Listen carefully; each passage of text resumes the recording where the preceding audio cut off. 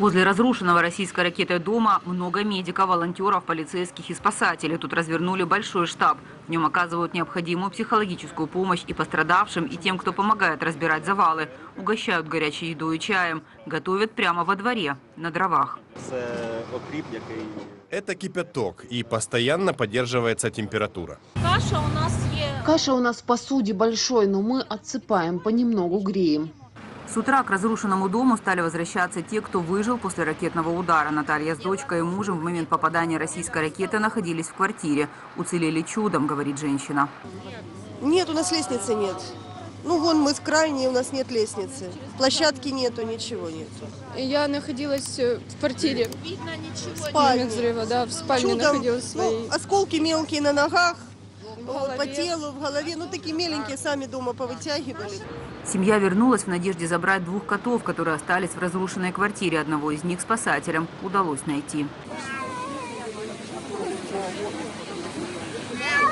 Работа по разбору завалов здесь не прекращается ни на минуту. На данный момент известно о нескольких десятках человек, которых считают пропавшими без вести. Чтобы понять, есть ли под руинами дома выжившие, время от времени объявляют минуту тишины. Так, во время одной из таких пауз спасатели услышали голос. Женщину, которая провела под завалами почти 20 часов, нашли живой. У нее сильное переохлаждение. Сейчас она в реанимации.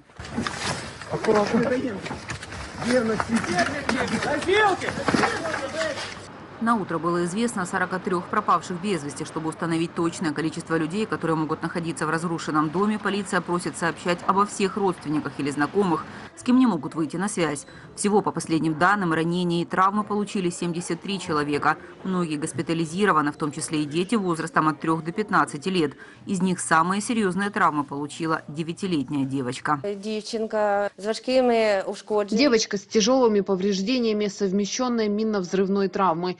Сотрясение головного мозга, очень тяжелый перелом двух бедер, осколочные ранения правой голени.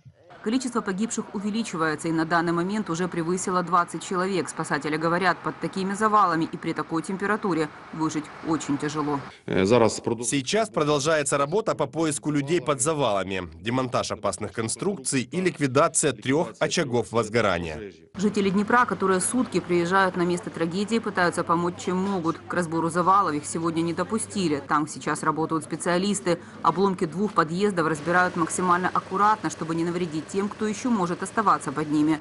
Поэтому многие жители города предлагают поселить у себя пострадавших или перевести их уцелевшие вещи. Тут зібралось мільйон людей. Здесь собрался миллион людей, все Днепро. Весь город пришел с лопатами, с термосами, с одеялами. Даже сегодня люди просто ходят со своими термосами и предлагают еду, кофе, чай. Это восхищает. Это горе, но то, как объединяются люди, это самое дорогое, наверное. Все, кто нуждался во временном расселении, сейчас находятся в безопасных местах и получают необходимую помощь.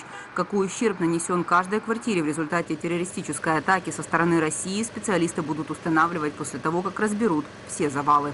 Завалы разбираются не так быстро, как хотелось бы, по одной простой причине, поскольку мы э, часть их разбираем вручную, либо при помощи кранов, сбрасываем на, непосредственно уже на землю, а после этого грузим. Это делается для того, чтобы не повредить людей, которые, возможно, находятся под завалами и еще живы. По предварительным оценкам, в доме полностью разрушены 72 квартиры. Еще 230 сильно повреждены. С 15 января в городе объявлен трехдневный траур по погибшим в результате ракетной атаки России. Наталья Гусов, Владимир Штангелов для телеканала «Фридом».